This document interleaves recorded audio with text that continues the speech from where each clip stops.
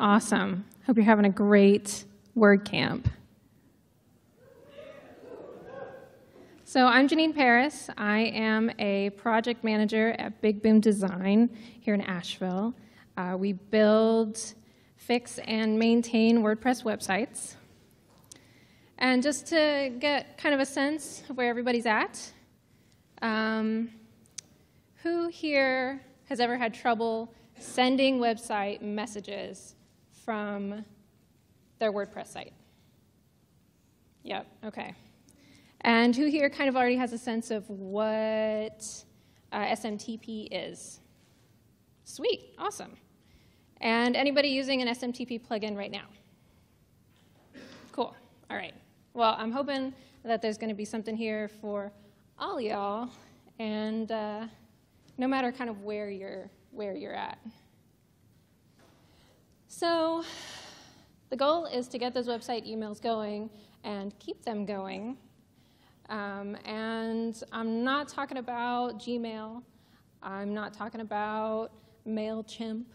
I'm specifically talking about the emails that your website sends usually automatically to you and your customers. And here's how we're going to make that happen. We're going to talk about some basic plugin settings that can help make your emails more deliverable. We're going to talk about what SMTP is and how it's used. And then finally, we're going to talk about why it works and uh, why we have to do all this stuff. So the best thing, the first thing, the most important thing you can do to make your website emails deliverable is to correct your plugin settings. Every message that your website sends should be from your site name and from your site domain.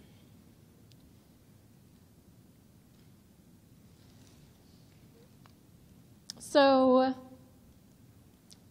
Recipient servers evaluate a few things before they send messages on to their addressees. They look at one of the most important things, which is the reputation of the domains and uh, server IPs associated with a given email, right? And it's important to keep in mind that we're trying to build a really clear and consistent picture of who is sending any individual email. Mismatched info is a red flag for recipient servers. It doesn't necessarily mean that you are a bad dude trying to do some bad stuff, but you know, it's, it's not a good sign. Uh, it's one of the things the bad guys do to try to hide what they're, what they're at. Um, so we want to make sure that we're doing our best to be really clear about who we are as a sender.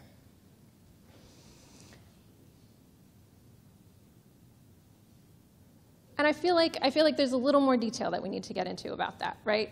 So when every message your website sends uh, comes from a different name and a different email address that builds or detracts from the reputation of your server, right? We talked about that to begin with.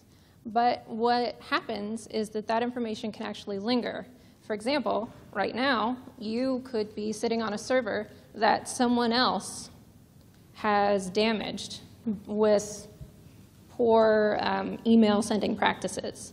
You could be using a domain that maybe was registered previously that um, you know, has, has those pieces of information associated with it.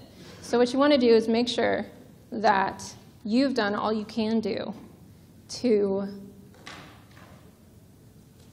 be clear about who you are as an email sender. So let's take a look at what that, what that actually means in, in terms of what you're doing in WordPress. So this is a really common um, e-commerce plugin, WooCommerce. And when you install and activate WooCommerce, you go into the settings, you go into the email tab, And there it's pretty clear, pretty straightforward. You've got your from name and your from address, and that should be your business name and your business email address. And that makes sense, right? It's a store. You know, you want your stuff to show up anytime your customers get a message from you. Where people get a little confused, where it can be a little confusing for, for folks, is something like a contact form notification. This is a big pitfall for people. So this is gravity forms, and it looks a little more complicated, but basically it's the same. Um, we've given, in this case, we've given our, our notification a name. We have set a send to address. It's just coming to us. Sorry, this is the, from the Big Boom Design website. So, you know, info at bigboomdesign.com. And then down here at the from name and from email address. That's where people get tripped up. Because in a contact form, you could click that icon on the right, and you could actually pick out the fields that your user's filling out with their name and their email address. And what ends up happening is that when uh, that notification goes out, that information is in the header as the sender instead of you. But their email server, that information doesn't match your website server. That name doesn't match your site name. So now a recipient server could reject that message. Um, at best, it might be marked as spam. At worst, it might be dropped entirely. And you really don't have a way to know. So, you've taken all this to heart. You've gone back, you've checked all your notifications, you've, you've made sure that your sender information is super perfect and it's exactly who you are. Uh, you've made sure that all your colons are colons and all your brackets are closed, but there's still no emails. No emails. or maybe, maybe you have a website that has had no problems for years. You've just been chugging away, sending emails with no problems, and then you switch to a new hosting company or you upgrade maybe to a dedicated server. And now, your reliable font of website messages has dried up. Or maybe you're launching a brand new website and your business absolutely depends on those order notifications and those emails out to your team letting people know various things like that. Your business depends on that stuff, right? Or maybe your health is deteriorating. As you lay awake at night, just wondering what's happening to all those emails. Then, friends, it might be time for SMTP. That's the wrong direction. yeah. All right. So, the first thing I'm going to tell you about SMTP is actually the least important thing you could ever possibly know about it, and that is that SMTP stands for Simple Mail Transfer Protocol, right? And what SMTP is, is a relay service that grabs your outgoing messages and gives them a little extra boost of authority before sending them on to recipient servers. Uh, it, it, it, does other things for you as well. It, it sidesteps potential server conflicts, um, and it's, it's kind of like, it's kind of like your cool friend, you know, getting you past the line into the party. Uh, usually you have to pay for consistent, reliable SMTP service. Um, there are companies out there that offer um, free service tiers right? But if you do get a service, an external SMTP service, then you get a little you get a little extra value, right? You get things like error messages.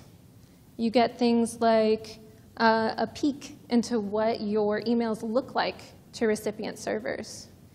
And you get information about what happens on the other end. You know, what happened when the message got to the recipient. And all that's pretty valuable. Now, to, to, to return to our party analogy, You've been kicked out of the party. Now you're standing on the sidewalk, just wondering why no one's making eye contact and people smile weird when you compliment their accessories. Well, with SMTP, you might still be kicked out of email party, right? But when you shout why to the heavens, you're presented with a nice list of time-stamped faux pas, which is kind of a nightmare, but it's really helpful when you're actually talking about email and not people. So you may have heard that some folks SMTP without an external service. Maybe you know someone who uses an SMTP plugin and all they did was install it and activate it. And they say it works fine for them, solve their problem. Kind of like a, a lamp that just lights up without being plugged in. And that, that can work, but the reasons that it works are going to sound a little familiar to you now that we're here at this particular moment. Because if you install and activate your SMTP plugin, right, you go into the SMTP plugin settings, what do you find? You find a spot where you can set a from name and a from email, just like in all of your other uh, e-commerce and contact form plugins.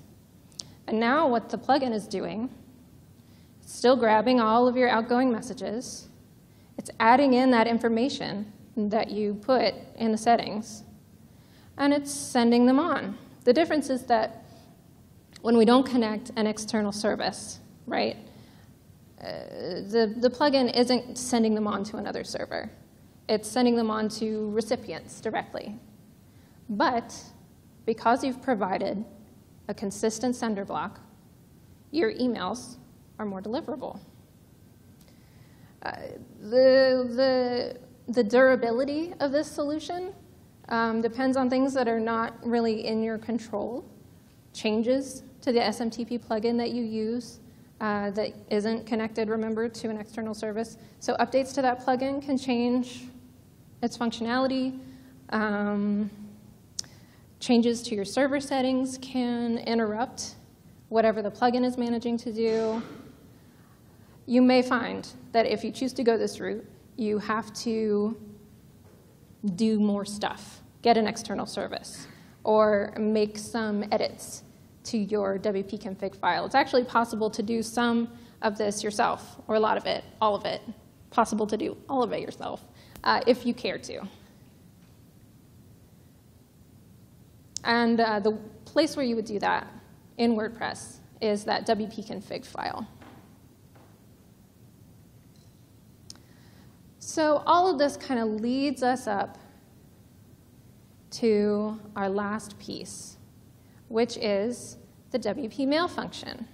The WP mail function is a little, little piece of PHP code that uh, is a wrapper for another piece of PHP code. And every time your WordPress website sends a message, this function is engaged. Uh, there are some problems with the WP mail function. Um, it's not great at getting that from information. It kind of can only work with, uh, you know, it, it, doesn't, it doesn't know stuff automatically. You have to tell it what you want it to, to do. So if somebody has set up a contact form plugin or something that doesn't put that information correctly, then you're not going to have it in there. Um, it's been a security risk over the years at different points. Um, and because of these things, hosting companies really, they don't like WP Mail. They really don't. Um, and some of them preemptively um, disable the function. Uh, none of them provide the kind of error reporting that you get from an external SMTP service. And uh, you know, they're just not excited. They're just not that excited about you sending a bunch of emails from your shared server using this potential security risk, right? So all of that to say, we want to make sure that we're doing all that we can on our end to engage well with our recipient server, so that means setting that from information correctly. Um, and we want to make sure that if we need to, we know what tools to use, like our external SMTP services. So what do we know? We know that websites, uh, websites send email from websites, not from users. We know that uh, for WordPress websites, WP Mail isn't universally supported. Um, and we know that SMTP can give us a little extra information and a little extra authority uh, for our outgoing messages.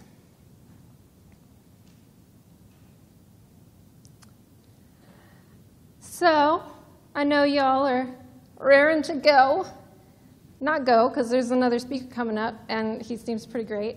Uh, but metaphorically go and check all your notification settings and look at all your plugins and maybe do some stuff in your WP config file and all that cool stuff. So I'm not going to keep you from that dream. Um, I am Janine Paris. If you want to meet the fine group of folks that I work with, a lot of them are actually right here in these front two rows. Thanks, guys. Uh, we also have a booth out in the hallway, and I myself will be at the Happiness Bar after this to answer questions um, and or look at pictures of your pets. Thanks. Bye.